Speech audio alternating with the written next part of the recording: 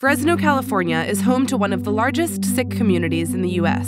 It's a place where community leaders say they've fallen victim to post 9 11 prejudices, marginalization, and even hate crimes. The National Sikh Campaign is trying to change that, in part by embracing an iconic American pursuit.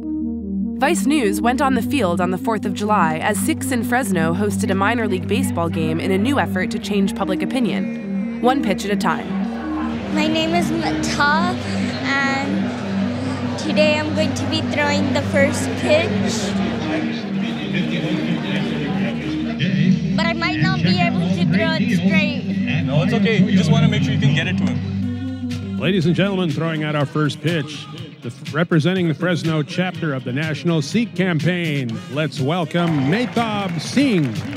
Okay. You just got to make sure you get it to that guy. You got?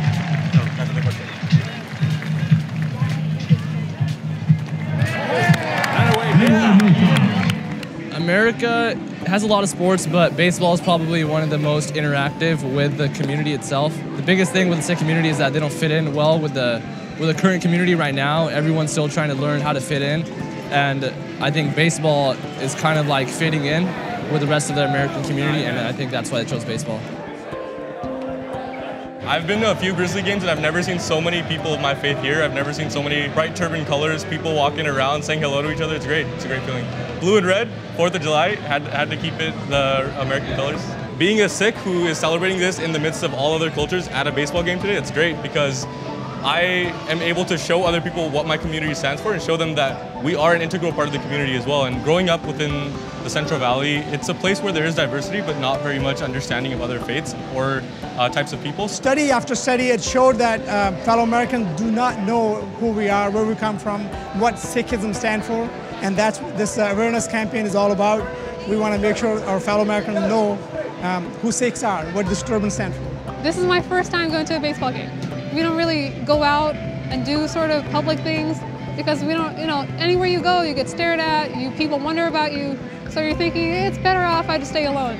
You know, in middle school, uh, Osama bin Laden, that was the time he got killed.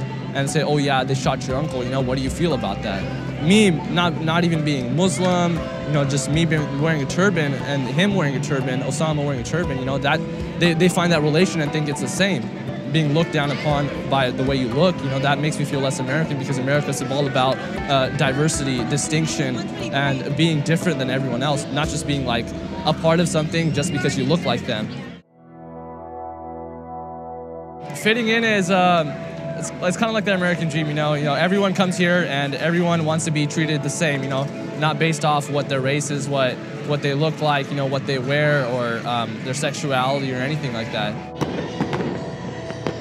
people should know about Sikhs that we've really endured a lot of things, like many other religions and faiths.